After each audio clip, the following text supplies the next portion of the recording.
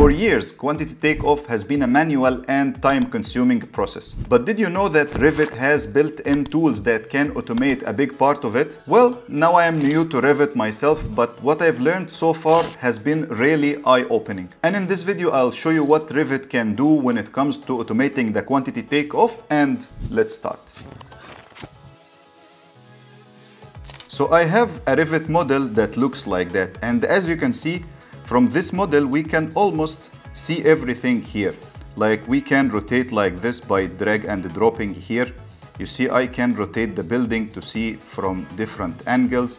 And if you see this cube here, if I click here back, so I'll just be seeing the building from this side. And if I click on the left here, then I'll be seeing the building or my model from another side. If I click top, then I'll see the plan of what I have here and if I click here on this house home so I'll go back to my 3D view. So as you can see I'm seeing almost everything related to this project and this building here which makes the quantity takeoff a very easy process now because I can almost see everything. And of course there are cons but we will talk on that later but for the time being I believe this is an amazing thing that can help us automate the quantity takeoff. And I always had hard time explaining the substructure to everyone. So look at this. Now here I am in the 3D views and I am seeing my model. Here there is one option that is called box section. If I enable this option, so I'm having a box here as you can see. If I click this box, I'll have two arrows here and two arrows here. Small ones, but that is okay. So if I just drag these two arrows down a little bit, like this, here for example, or let's go a little bit down, okay, more down. So as you can see here, I'm just making a plan, a horizontal plan, and I'm cutting everything above this plan to see only my foundations. And as you can see, I am seeing almost everything. This is an isolated footing, and this is a combined footing, and this one as well and I have a raft foundation here. So from the model, we can see everything and we can understand everything about the project and how it is constructed easy. And if you compare this to any takeoff 2D takeoff tool, you will find a very big difference because here everything is clear in front of you. Where is foundation, where is neck columns and so on. So now let's try and go up a little bit to see what we can have here.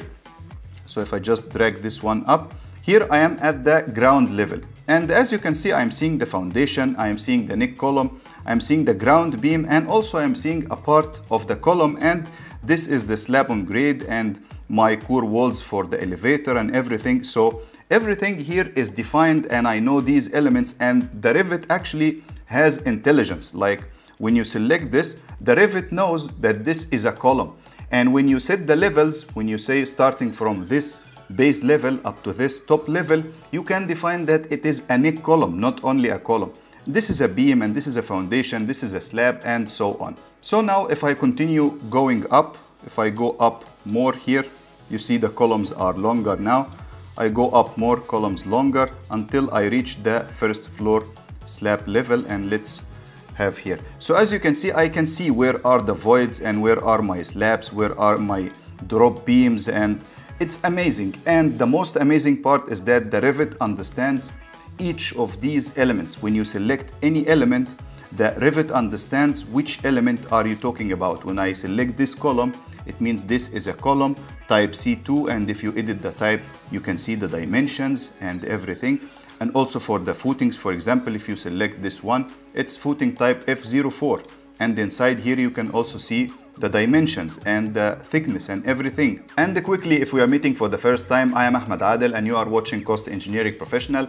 And here I help you develop the required skills and enhance your knowledge to elevate your cost engineering career. So if this is what you want, you can quickly subscribe. And what is also amazing here is that, see this box section, let's close this box section for now. And all I'm going to do is to just select the whole model. When I select everything, there is a filter option here. So if I filter, if I remove these ticks from everywhere except for structural foundations, so as you can see here, I'm just selecting the footings. So the Revit understands that these are footings. I can select a particular or a specific element to do whatever I want with it, which is an amazing thing as well. And now I'll enable the box section again here.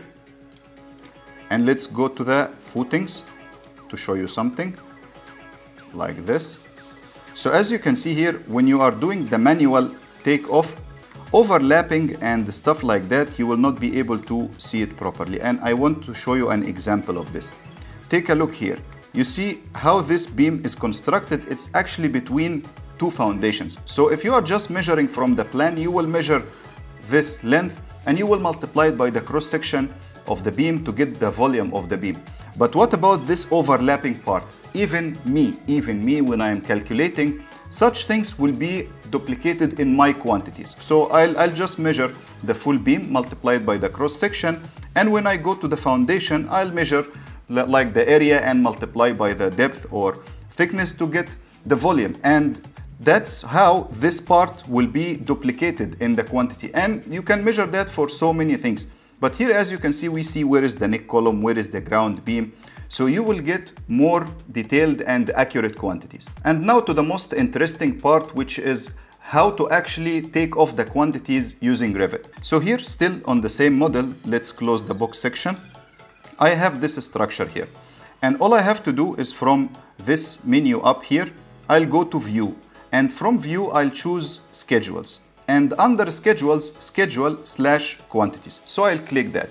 It's asking me to save the project, so I'll save, it's fine.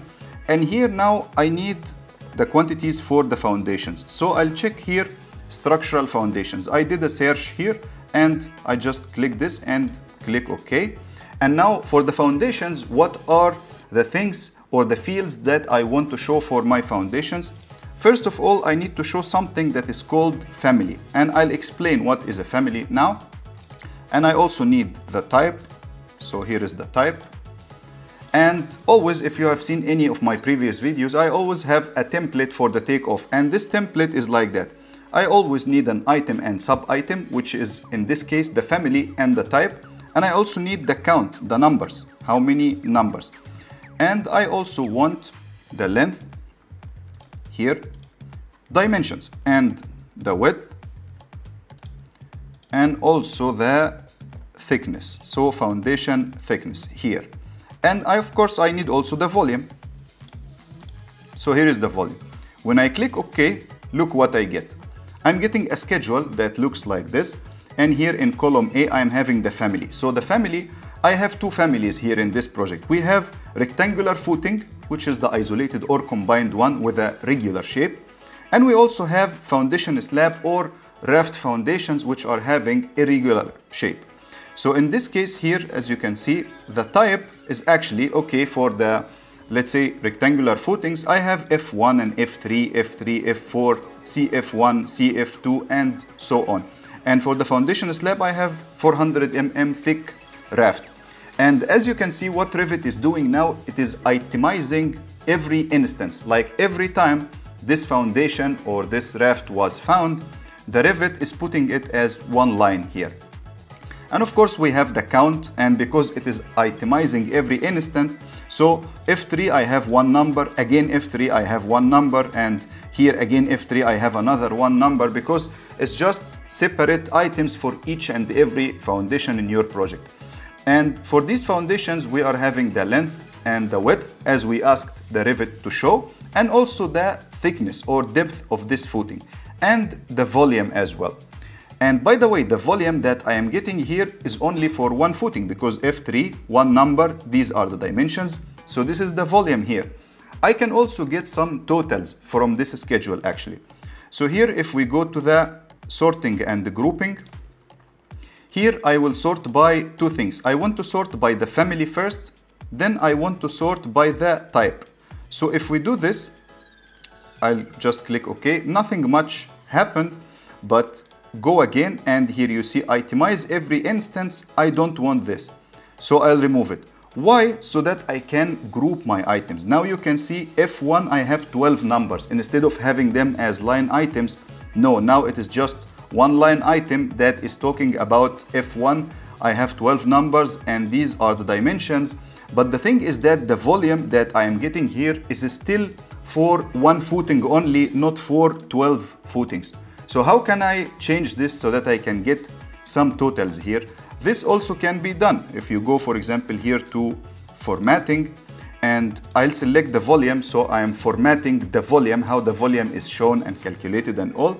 And here, instead of no calculation, I'll say calculate totals, and I'll click OK. So when I do like that, still again you see F01, 12 numbers. Now here I am getting the total volume of the 12 numbers.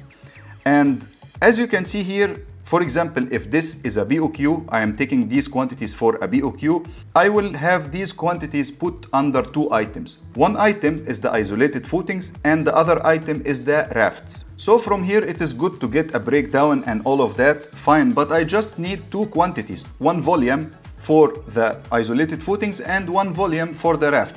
So how can I do this? I can just export this to Excel and go take a submission or I can do it here inside the Revit again from let's say here from grouping. What I will say here under the family because now I want the quantity of a family. Again here we said that these isolated footings are one family and the raft is another family. So for sorting and grouping here under the family I will select footer and I will select here count and totals. And I'll click OK. So what happens in this case we are seeing that for the rafts, we have total one raft. And here is the total volume. Even if I had more than one raft, I will get the total volume here. But I'm getting 37 because it is just one raft. So this is my quantity for the BOQ for the item that is called raft. Now for the isolated footings, we have these much types of the isolated footings. But they are all coming under one family, which is this rectangular footing or M footing rectangular. So here, as you can see, I am getting a total 99.5. So this is the total quantity of this family, which has different types inside. And the types are F1, 2, 3, and so on. But the family is just one family, which is the rectangular footing. So I'm getting here 99.5 for the isolated footing, I'll just take this number, put it in the BOQ as my quantity for, the, for this item. And for the raft, we can do the same thing. And sometimes you will encounter an issue because for some of the families, like for example, here in Revit, the beam is a beam. So if you are doing a tie beam or a strap beam or a ground beam or a drop beam, you will still use rectangular beam. So your family in that case will be rectangular beam. So if you want to group all your beams by family, then in that case you will get the volume of all the beams in the project, which is something that you don't want because in your BOQ the tie beam is different from the ground beam, is different from the drop beam. So in that case, grouping the volume by family might not work. So you might need to group by something else and in that case it can be the levels. In which level the group of beams that you want is falling and that's how you can group it. And as I said, I am not a perfect or I am not a genius in Revit yet. I'm also still learning. But when you are learning, I'm telling you, learn these things because yes, just go to schedule and extract the quantities. That's easy, but how to extract the quantities that you exactly want for a particular item in the BOQ, this is the part that you should practice again and again to see how you can isolate these elements and get their quantities. And that will conclude our discussion today. So that's it for this video. Thank you so much for watching and I'll see you in the next one.